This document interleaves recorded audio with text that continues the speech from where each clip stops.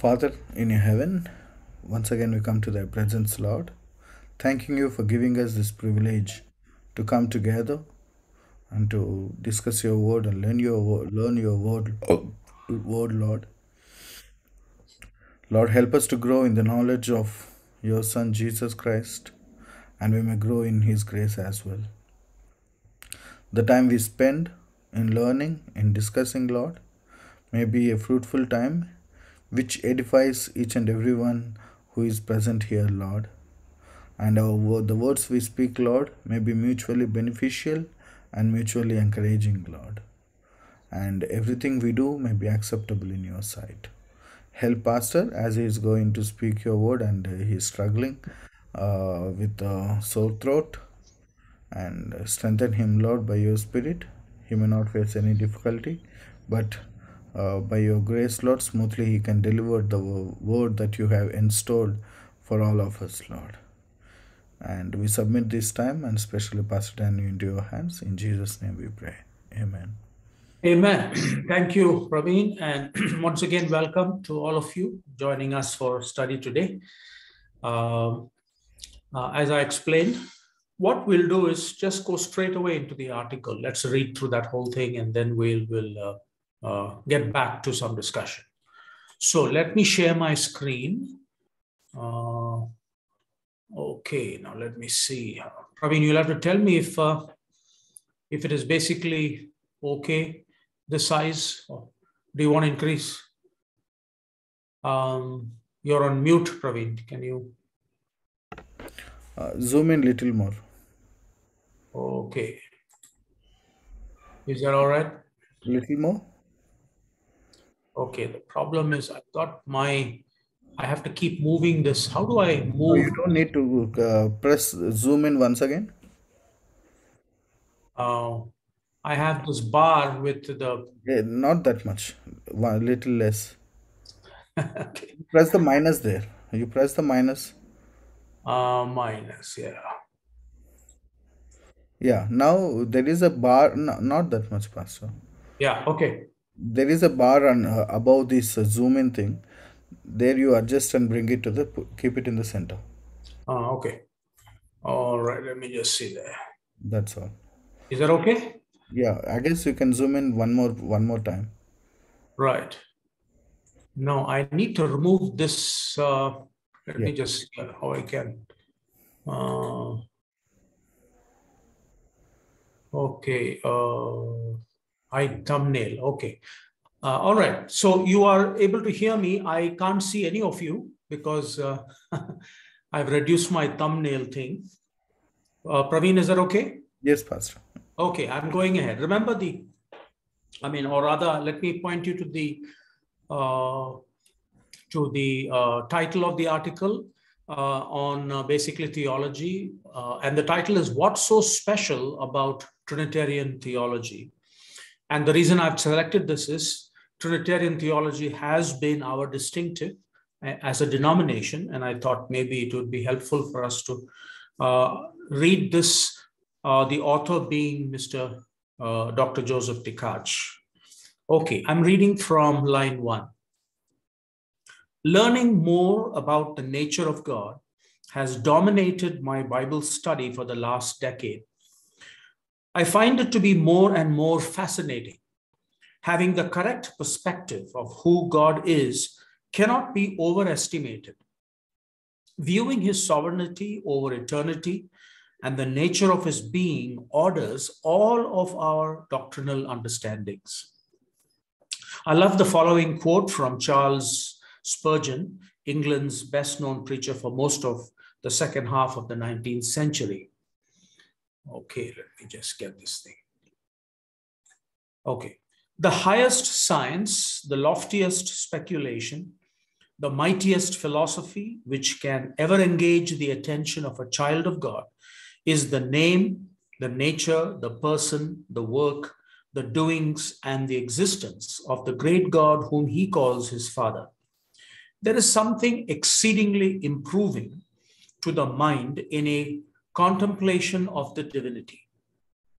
It is a subject so vast that all our thoughts are lost in its immensity, so deep that our pride is drowned in its infinity. I am sometimes asked, what's so special about Trinitarian theology? Don't most Orthodox churches believe in the Trinity? Yes, they do. But uh, rather, belief in the Trinity is considered the hallmark of authentic Christian doctrine. It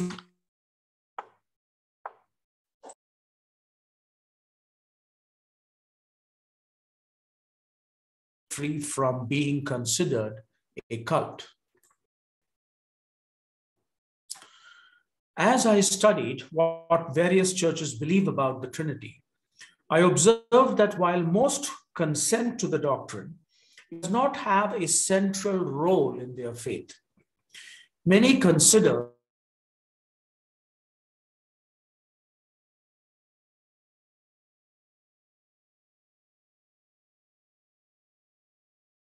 Trinity is not at the center, shaping all other doctrines, strange ideas and distortions arise. For example, those who proclaim a health, wealth, prosperity gospel tend to view God as a divine vending machine. Others tend to view God as a mechanistic version of fate who has determined everything from before creation, including who will be saved and who will be damned. I find it hard to accept a God who creates billions of people just for the purpose of condemning and damning them for eternity. Trinitarian theology puts the Trinity at the center of all doctrinal understanding, influencing everything we believe and understand about God. As theologian Catherine LaCugna wrote in her book for us, The doctrine of the Trinity is ultimately a teaching not about the abstract nature of God, nor, nor about God in isolation from everything other than God, but a teaching about God's life with us and our life with each other. Trinitarian theology could be described as par excellence, a theology of relationship which explores the mysteries of love, relationship, personhood, and communion within the framework of God's self revelation in the person of Christ and the activity of the Spirit. And let me read that note that he makes. While I appreciate much of what is in the book, I don't agree with all of it.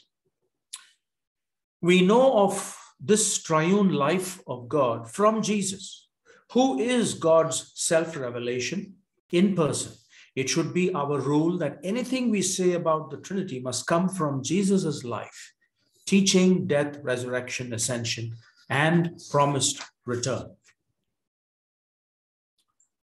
Okay. Uh, you can see the diagram there, but I will go past it and uh, maybe uh, you may just uh, take a mental picture of it because there'll be reference to it. But let me continue reading. I have seen many diagrams that attempt to explain the Trinity. The best of them fall short and some are confusing. It is impossible to explain the nature of God in a diagram. However, a good one can help us grasp some aspects of the doctrine. You may find helpful the diagram shown at right. It summarizes early church teaching, pointing out that correct biblical understanding concerning the nature of God upholds three essential beliefs about God. It also indicates that we end up denying that God is triune when even one of these beliefs is rejected. The three sides of the triangle in the diagram represent three essential beliefs. All right, if uh, just to give you some context, let me go back to that. Notice it says that the three sides of the triangle in the diagram, all right, the, si the sides represent the three essential beliefs. If you see that in uh, bold, three persons, equality of persons, monotheism, those are the true beliefs. And the point of the triangle across each side represents the corresponding error when that particular belief is denied.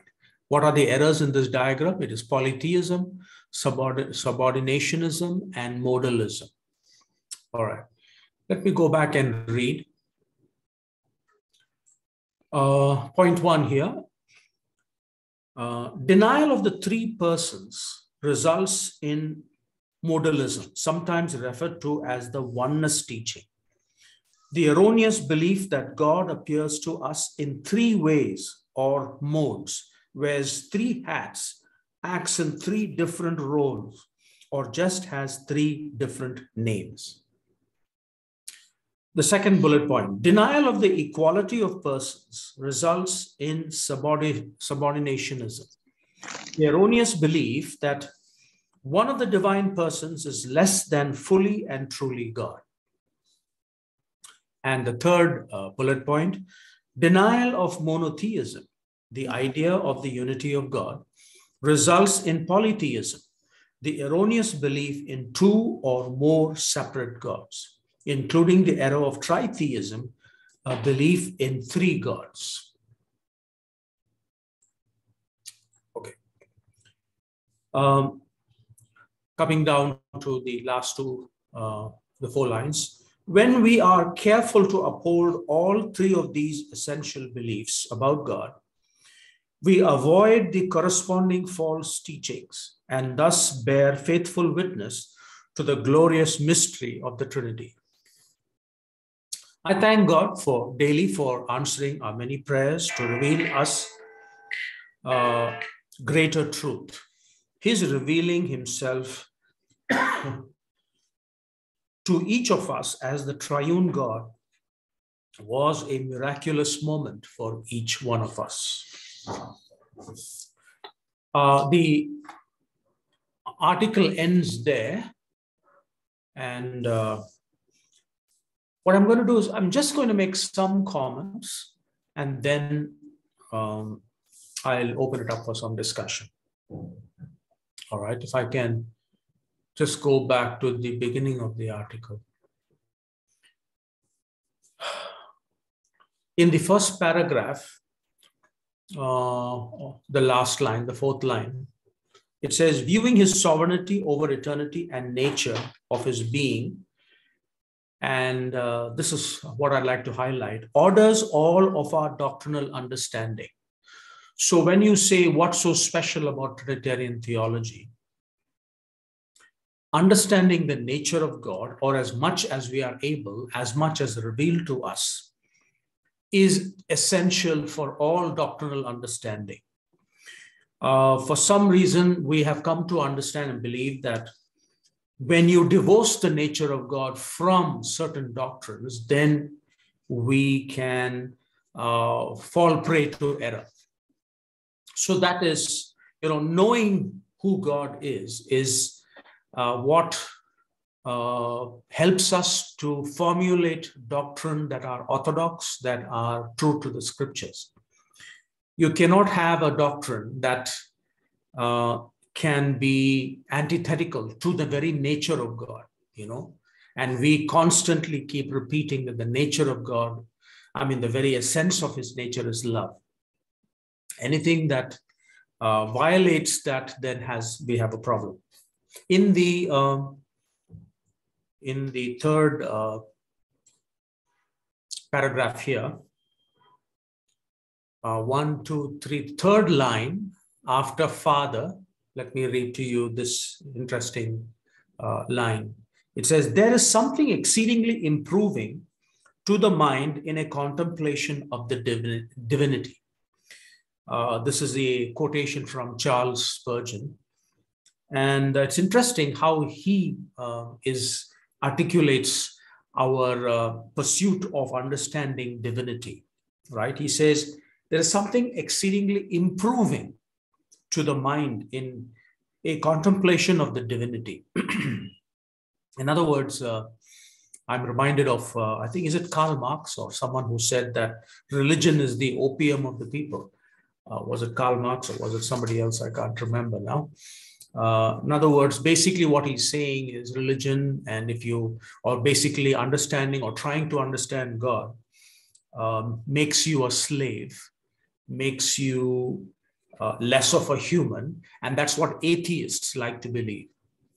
That belief in God is what causes all the problems in the world. They are, uh, many of our new uh, militant atheists are very quick to say that religion is the cause for all the you know violence and uh, and uh, the various problems that we uh, face in the world. So uh, i thought it's good to make that contrast from what uh, you know charles spurgeon says. Um, okay just let me go down a little bit more and let me take up this particular uh, the the paragraph right on top on your screen um, uh, one of the differences we, or one of our distinctives from most others with regards to the Trinity or the doctrine of Trinity is what uh, Mr. Tkach mentions here. Notice he says, as I studied what various churches believe about the Trinity, I observed that while most consent to the doctrine, it does not have a central role in their faith. And that is what we already commented on earlier, that uh, uh, they divorce this fundamental understanding from their doctrinal uh, perspectives. They tend to take some doctrines standalone without bringing it and tying it up with the nature of God. And I, and I think that is the distinctive that we as in GCI have in this uh, same paragraph, uh, if you go to the third line, it starts with this is sad because when the Trinity is not at the center, shaping all other doctrines, strange ideas and distortions arise.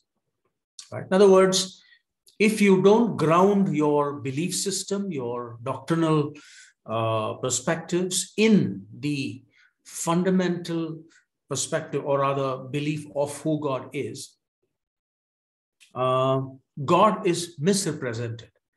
God is, you know, completely misunderstood.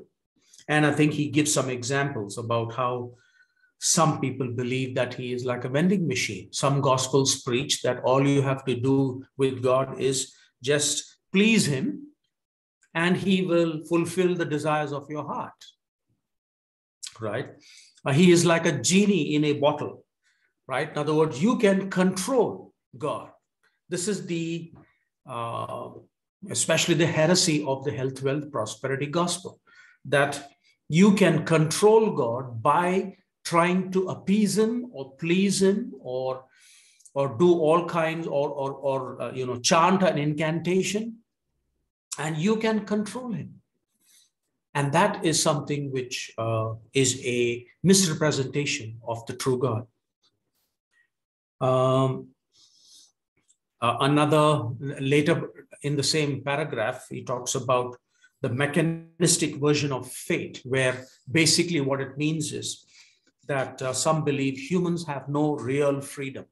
Humans were not created with a free will to decide for themselves if they will come into a relationship with God.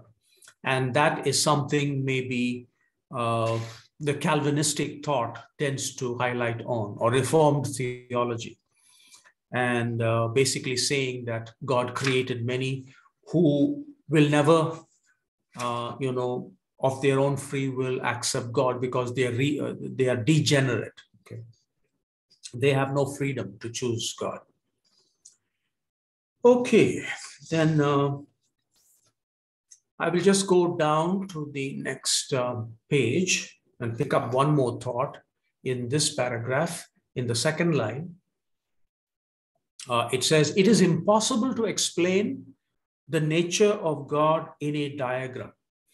And that is something that uh, we must keep in mind. All diagrams, all analogies, all comparisons of the true God to any kind of physicality will always fall short.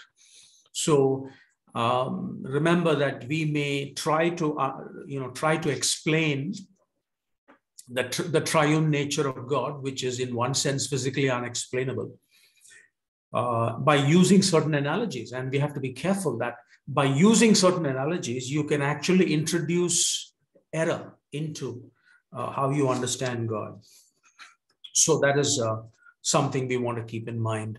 Uh, and they all, all diagrams and analogies fall short of explaining God. So, um, so two points that I want to leave you with, and then we'll open it up for discussion. Uh, to answer that question, which is posed in the article, what's so special about Trinitarian theology? Uh, one, in my understanding, is that the only way to reconcile who Jesus is is to be able to recognize the you know Jesus from a Trinitarian perspective.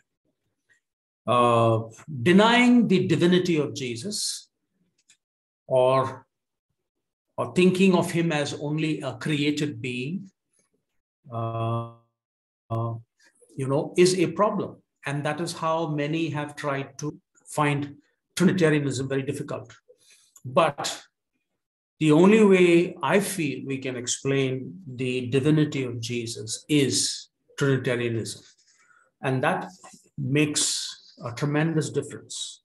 And it is indeed very special.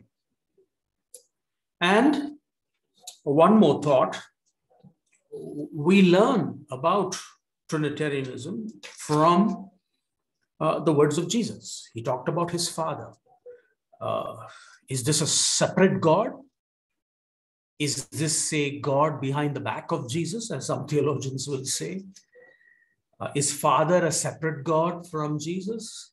or is father the only god and jesus is uh, you know not god well these are problems that um, we will have to face without this doctrine so um, uh, what jesus the teachings of jesus seem to be quite uh, categorical in terms of uh, god being father son holy spirit uh, let me leave it there for now and uh, i know we can talk many more things, um, but I'm going to leave it there for now.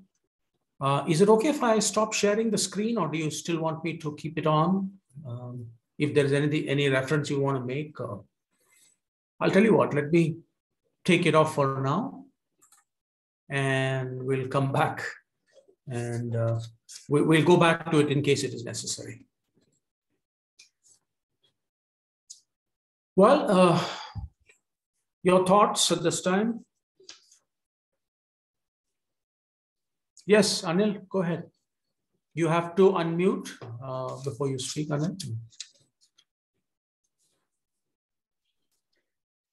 Yeah, um, I'm uh, I'm not really able to understand how does the belief in Trinitarianism prevent us from thinking that God is a vending machine or, you know, fatalistic God and so on.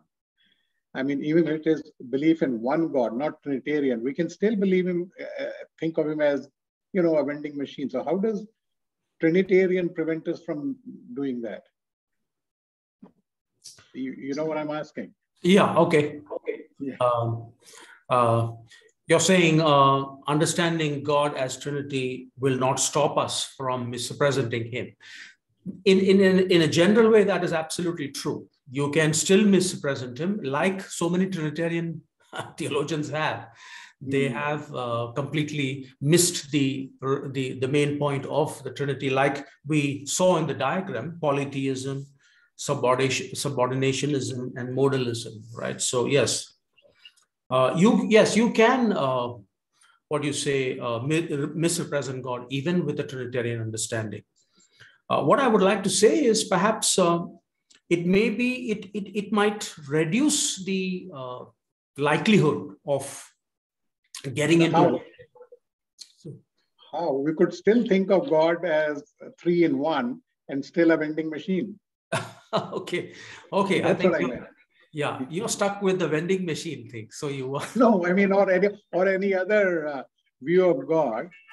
We, uh, uh, how does Trinitarian specifically sort of, uh, you know, prevent us from doing that? That yes, he's Trinitarian, therefore he cannot be uh, anything else, or you know, at our beck and call or at our demand. Uh, okay. Uh, just to bring in that vending machine, uh, you know, thing, um, the way I would look at it is like this. When you understand God as Father, Son, Holy Spirit, and His nature being love, it is love that is, uh, you know, the dynamic in them. God is love, right?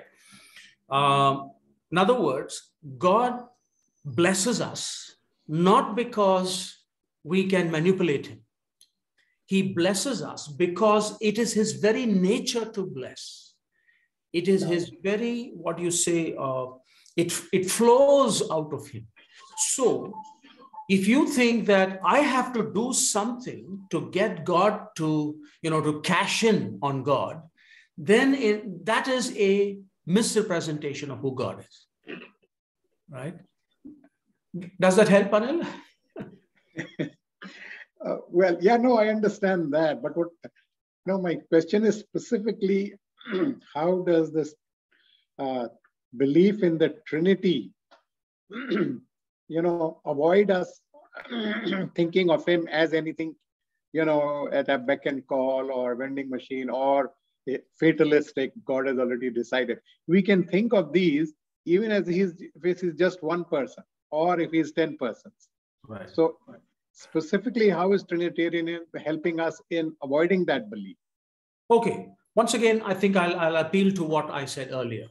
Trinitarianism helps us to understand who God is. And once again, I'll come back and say he's love, right? Now, uh, it is that which will help us recognize that, you know, he can't create billions of people only for destruction right? If he is love, that is against his very nature to condemn people to death. All right. So it will prevent you from thinking, or the, the, the typical Calvinistic thinking, that he damned some people, you know, he predestined some to, to damnation. So in that respect, it prevents, I mean, it, it prevents that misrepresentation. Okay. So what I would say is recognize Trinitarian theology from the very essence and essential nature of God, that is love. And anything against his uh, nature, which is love, can, uh, you know, uh, unfortunately uh, lead to mis- misrepresentation. I think that is that is probably the catchphrase. Yeah, because I mean, because he is love, there has to be somebody to love, right? And that's why uh, you know, three in one, Jesus and and yeah. and that's why he expresses his love, and that's why that love overflows to us, and therefore he cannot be, you know, anything else but uh, to love us. Yeah, that makes sense. Okay. Yeah. All right. Yeah, good question. Though. All right. I don't know if Praveen wants to add anything to that. Uh, Yeah, uh, as we're talking about Trinitarian theology, two words I would like to bring to your notice. Your, your notice, both were used actually. We are not just talking about the doctrine of Trinity. We are talking about Trinitarian theology, otherwise Trinitarianism. What does it mean? Is uh, Trinitarianism derives the implications of the doctrine of Trinity.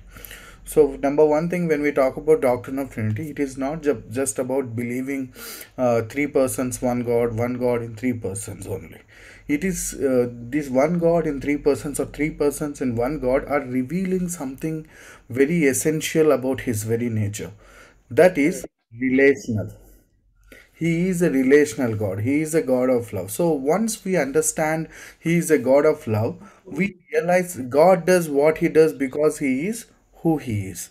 So that is number one. Number two thing, our dealing with him also will be influenced because we are not dealing with just a supreme leader in the world, but we are dealing with a with someone who is relational who is love and who related to us in the same in the same way. So and he expects us also to relate in the same way. So what happens is the way we relate to him changes. The way we look at him changes. The way we relate to him changes. So uh, that's what Trinitarianism is talking about. Trinitarian theology is talking about. It is bringing all the implications of God being three persons and one God. So, what happens is when we understand this, uh, uh, when we understand uh, uh, about uh, just for an example, in a family, when we think about parents and children, if we the way we relate to a master is different the way we relate to our father is different.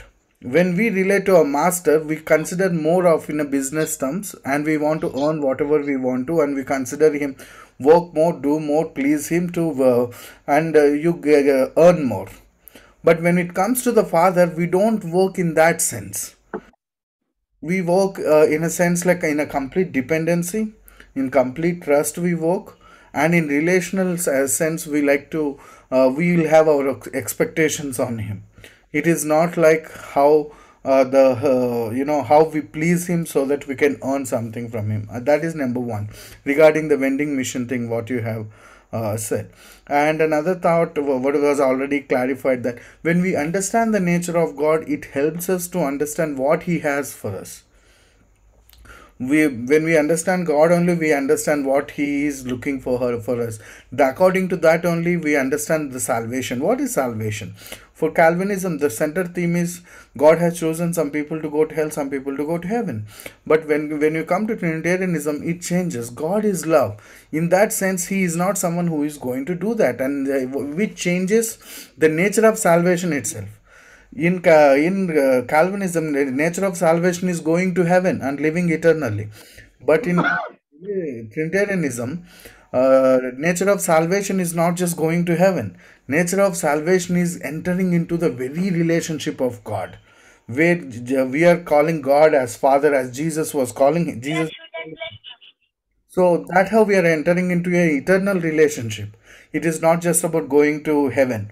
So whether we go to heaven or not that doesn't matter but we enter into the eternal relationship. So it changes the nature of the salvation itself. It changes the nature of church itself. It changes the nature of everything that we live about. So uh, we are not talking about just god being three persons and one god and keeping that thought in a corner of our head but taking the implications of that particular thing so that's what Trinitarian theology and Trinitarianism about. Does it make any sense? Yes, if I can just add before anyone uh, make a comment. Uh, yeah, that's very helpful, uh, Praveen. It is very necessary for us to to uh, separate the doctrine of the Trinity and Trinitarian theology.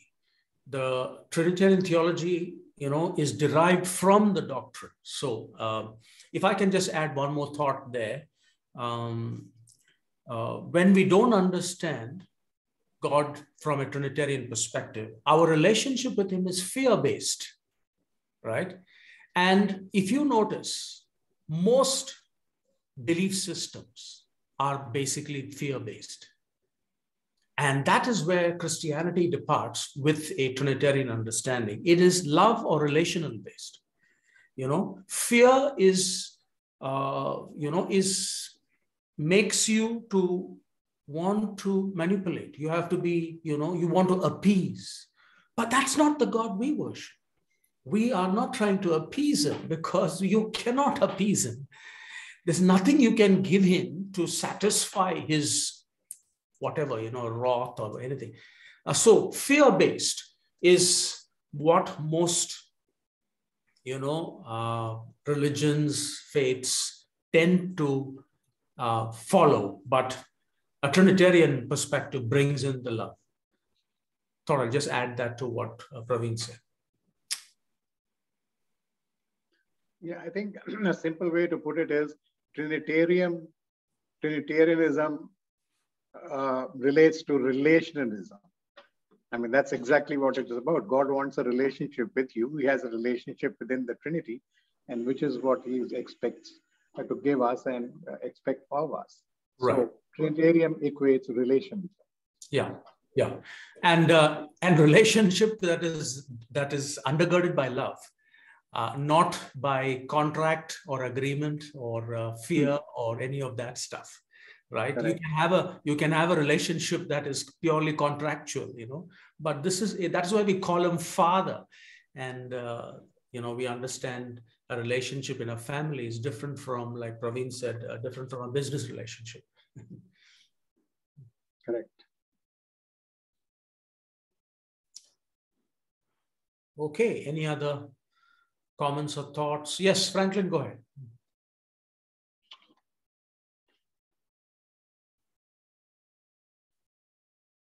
Uh, you are still on mute. Uh, Franklin, could you unmute yourself? Yeah. Sir, in that, uh, going back to the Charles Spurgeon's quote, no, sir, Yes. uh, whom he calls father, the word he refers to whom, sir? Uh, obviously, Jesus. That's it. Let me just see here. Uh, The quote from Charles Spurgeon. right. Yeah, I, I, I, I, I feel he, you know, uh, it is is a reference to Jesus. Or let me see.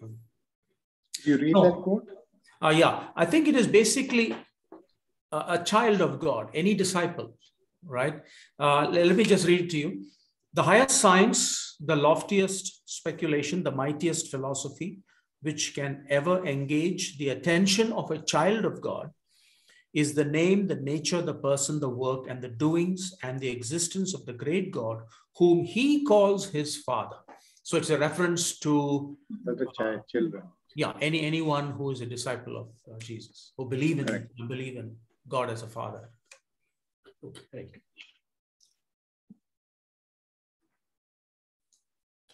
right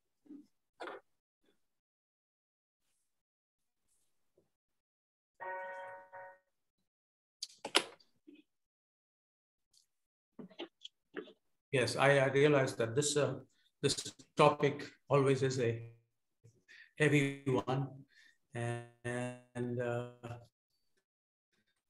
uh, it is difficult sometimes to wrap our mind around it. But I think uh, the way we in GCI try to, you know, uh, our focus is not trying to explain three in one, uh, but you know, because you cannot fully satisfactorily explain it in, a, in, a, in in our dimensional world.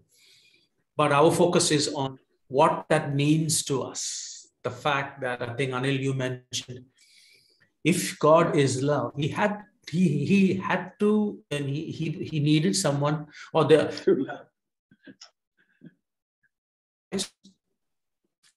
his love would have began only when he created human beings Hmm. right so in other words he was not love before his creation so that that creates a big problem that means god is not eternally love Right. and if he was not love before his creation, is it possible that he'll stop being love sometime in the future? and that's the reason why the Bible says God is the same yesterday, today, and forever. We can trust him because of his faithfulness uh, in the perspective of love. I hope that makes uh, some sense. Correct.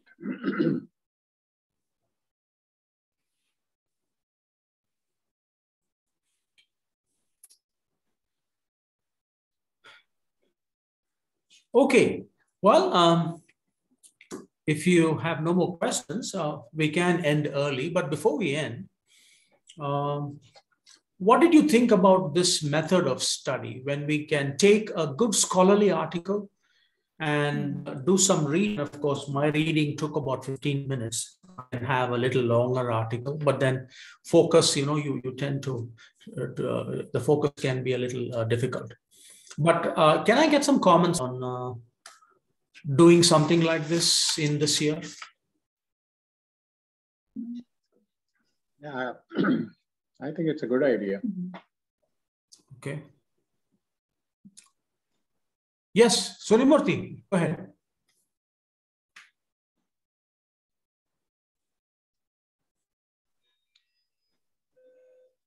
I, I would prefer a method.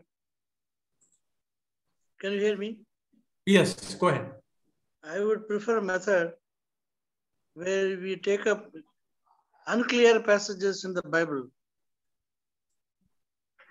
and to explain them if if there is no controversy. Yeah. Yes. There are so uh, many passages. There are so many passages, thousands of them, which are not clear. hmm. You may take up at least one a week. Yes, I think uh, that is that is helpful because we used to call them difficult scriptures, uh, and we try to explain them. But that could be one of the methods we can adopt along with others. Is that okay? Yes, sir. that's why I said one once, at least once a week. yeah. Once a month, perhaps you mean. Yeah, yeah. Bible study is only once a week anyway. Sorry, once a month. Okay. Uh, we can do a little bit bit of a mix up, but uh, Correct, yeah. Yeah. When we have a series, but I don't know. I mean, do you think it's okay? Sometimes we can have a break from a series and then continue later. We can have that also. Why not? Right. Yeah. Yeah. Yes, Suryamurthy. A series becomes monotonous. Okay. Um, yeah, if it is too long, it becomes monotonous, I guess. Um, you know, you tend to lose some bit of interest, but um, well, maybe we should keep it short. But then some series you need to justify study, you need, uh, you know, uh, several sessions. Yeah. It depends on the topic or, or the or the subject that you choose as a series. Some can be long, some can be short. Maybe a short series, not a long series. You have attention deficit syndrome, is it, Surya? That is that is right. that is correct. I agree. Right. Um, yeah, you know, I was also suggesting, in fact, Praveen and I are trying to work out on a plan for 22 and see what all we can do in the study. Uh, I was thinking maybe take a book study, which once again will uh, will be voluminous. Uh, but what we can do is we can, rather than going verse by verse, we can take a thematic, thematic study of a book, you know, so that it doesn't become too long. Maybe a four-part series of a thematic study of a book. Uh, for example, the book of John, you know, the Gospel of John is a fantastic study in terms of the themes there. So I don't know. We, we were thinking about that. We'll come back to you on it. Yeah. Yes, to Suryamurthy? Uh, I would like a session on Isaiah 53. Okay. Okay, So- since you're, yeah, go ahead. Because the Jews also read Isaiah 53. They do not accept Jesus Christ. Right. And we read Isaiah 53 and we look for a salvation by Jesus Christ. So where are we misunderstanding? Right. No, no misunderstanding. we believe the Jews don't believe. Where is the misunderstanding? Maybe he wants to know why the Jews don't believe that. No, I, I- I know why they don't believe, but what we should do, how we should understand. Because Right. there are problems. It says says things in the past, past tense. He was pierced. It is not talking about the future. Some problems like that. Right. Uh, yeah, I, I'm going to mention that actually. Um, some of you might have questions like what Suryamurthy has uh, posed, and it'll be nice to get some of those questions. You can put it put it in our WhatsApp group, and we can collect those questions. And sometime down the line, we can maybe just take a session to to discuss your questions. You know, your uh, not from a from the study itself, but from some other uh, readings that you may have done. right? So uh, just keep that in mind. Whenever you have any questions, you can jot them down and then send it across.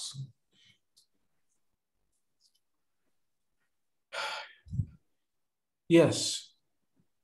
Other than that, uh, uh, I think we have done well for the day. Uh, thank you again for all of you for joining us.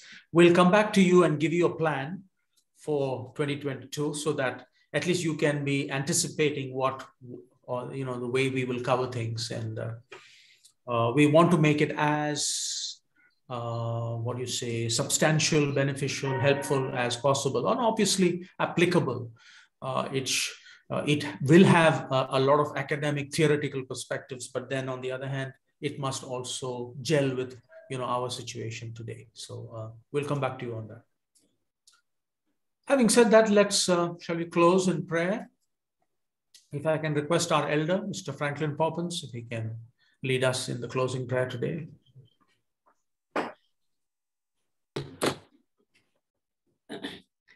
Gracious Lord, a loving Father, thank you, Lord, for this opportunity and privilege you have granted us to come together to raise our questions, ask clarifications, and look into the, your word. Thank you so much, Father. Lord, we remember, Lord, your admonition to grow in the knowledge and the grace of our Lord and Savior Jesus Christ. Thank you, Lord. Lord, I understand that growing in maturity takes time, it takes effort. Lord, we ask, Lord, that your presence continue to be with each and every one of us who have been coming so faithfully over the years. Lord, open our hearts and minds. Because, Lord, in the ultimate analysis, spiritual truth is something that only you can impart. It is not gained through five senses. Thank you, Lord. Lord, we ask your presence be with every one of us, and even those who like to attend but are unable to attend. Very especially, if Lord, we want to commit our pastor, Praveen, and all our leaders, Lord, who study and share. Lord, that you will inspire them and fill them with the double portion of your Holy Spirit, so that, Lord, they are able to provide the leadership that is so vital in a growing, challenging, secular world. Lord, be with every one of us, Lord. Whatever our stage of spirituality, Lord, strengthen us and may we grow into a deeper and a stronger relationship with you day by day, so that, Lord, together with our brothers sisters, we worship you and learn. Thank, thank you, Father. We ask your loving presence with all of us. In Jesus' precious name, we ask all this. Amen.